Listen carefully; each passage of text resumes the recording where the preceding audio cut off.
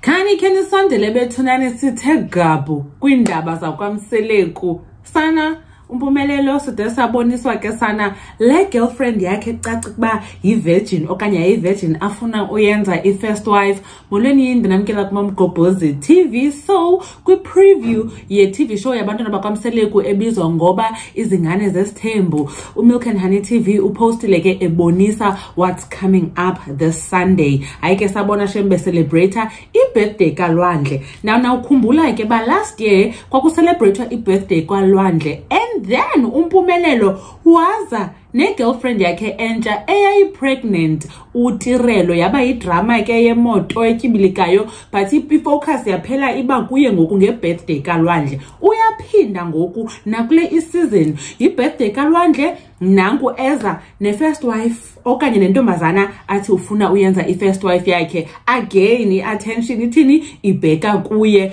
kula preview kubonisiwe ke nanku impumelelo engena nonosipho cele uvuyokazi nanko naye ekhomenta phaa kula instagram post ebuza uba is this our wife efake iface e in love hayi bo abantu bethuka asayazi noba uvuyokazi utrowa ishade okanye kwenzeka ntoni because as far as we know yena ebethe akasekho kunye nompumelelo xa ebebuzwa ngabantu on instagram abantu ke bareacta on social media especially ku-instagram where ibifakwe khona le preview yho hayi ke shem ii-comments were not nice at all abantu bathi yho hayi wethu besilindele i-upgrade akakhangeleki ngathi yi-upgrade abanye babebebuza ke uba hayi bo is she related to utata ubheka icele because